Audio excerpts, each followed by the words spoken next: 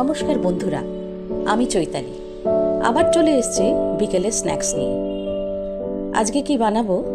তাহলে দেখে এখানে আমি একটা কলা নিয়ে নিয়েছি। সেই কলাটাকে আমি প্রথমে হাফ করলাম, তারপরে আরেকটা কাট করছি, করে কলাটাকে আমি টুকরো টুকরো করে নিচ্ছি, এইভাবে। একটু নরম কলা নিলে ভালো হয়। আমি এখানে নরম দেখেই কলাটা নিয়েছি। এইভাবে কলাটাকে টুকরো টুকরো করে নিলাম। এইভাবে আরেকটা কলাও আমি টুকরো করে নিচ্ছি। দেখুন, কলাগুলো আমার সব টুকরো করা হয়ে গেছে। এবার আমি নেক্সট স্টেপে যাচ্ছি। এবার আমি কড়ায় বাটার দিয়ে দিলাম। বাটারটা ওয়ান টেবিল স্পুন মতো বাটার দিলাম। দিয়ে আমি গ্যাসটাকে অন করে দিচ্ছি। এবার বাটারটা একটু গলে গেলে তারপরে আমি এর মধ্যে টুকরো করা কলাগুলো দেব।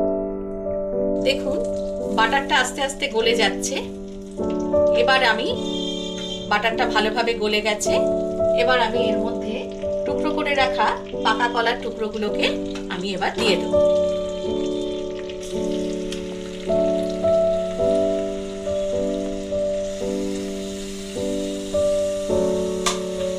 দিয়ে বাটারের সঙ্গে কলাটাকে খুব ভালোভাবে মিশিয়ে নেব। বাটারের সঙ্গে খুব ভালোভাবে কড়াটা মিশে গেছে। এবার আমি আঁচটাকে বন্ধ করে দিচ্ছি। এবার এই অবস্থায় এটাকে আমি একটা বাটিতে ঢেলে রেখে দেবো।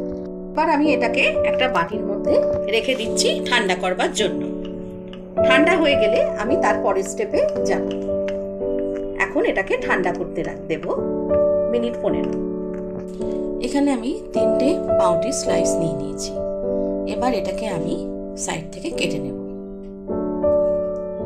এখান থেকে আমি একটা করে নিচ্ছি। নিয়ে আমি এইখান থেকে ছুরি দিয়ে সাইডগুলোকে কেটে নিচ্ছি। এইভাবে চারটি সাইড আমি কেটে নেব। পাউটির সাইডগুলো সব কেটে নিয়েছি। এবার আমি পাউটিগুলোকে নিয়ে এক একটা করে পাউটি নেব আর সেটাকে ভালো করে বেলবো। একটা পাউটি নিয়ে নিলাম। নিয়ে এইভাবে বেলে নিচ্ছি। প্রেসার দিয়ে বেলে নিচ্ছি।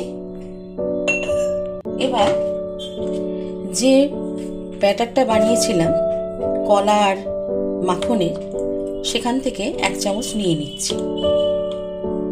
নিয়ে এখানে দিয়ে দিচ্ছি।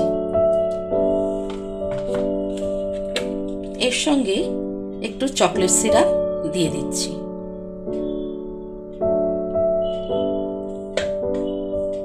এবার আরেকটা প্রান্ত এইভাবে প্রেস করে দিচ্ছি।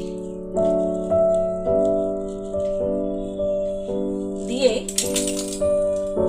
কাটা চামচ দিয়ে প্রেসার দিয়ে এটাকে এই দুটো মুখ বন্ধ করে দিচ্ছি। এই তিনটে মুখ এইভাবে বন্ধ করে দিলাম। এইভাবে আমি প্রত্যেকটা পাউটি তৈরি করে নিচ্ছি। দেখুন, এখানে আমি তিনটে পাউটি এইভাবে বানিয়ে নিয়েছি। এবার আমি এগুলোকে কড়াই রেখে শ্যালো ফ্রাই করব। কড়া নিয়ে নিলাম। তাতে one tablespoon white oil দিয়ে দিলাম। তেলটা একটু গরম হবে। তেলটা গরম হয়ে গেছে। এবার আমি একটা করে রোল এভাবে দিয়ে দিচ্ছি।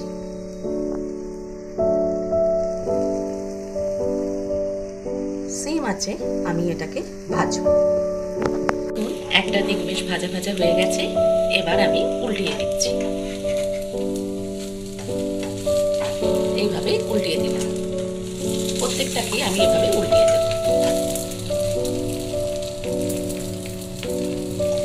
আবার এদিকটা ভাজা হয়ে গেলে এবার আমি তখন তুলে নেব। এইভাবে আমি ভাজাগুলো কমপ্লিট করছি। তৈরি হয়ে গেল ব্রেড ব্যানানা রোল। এইভাবে অতি অল্প উপকরণেই তৈরি হয়ে যায় চটপটা বিকেলের স্ন্যাক্স। আমার আজকের রেসিপিটা যদি আপনাদের ভালো লাগে, লাইক করবেন, শেয়ার করবেন, কমেন্ট করবেন, আর অতি অবশ্যই সাবস্ক্রাইব করবেন। খুব ভালো থাকবেন।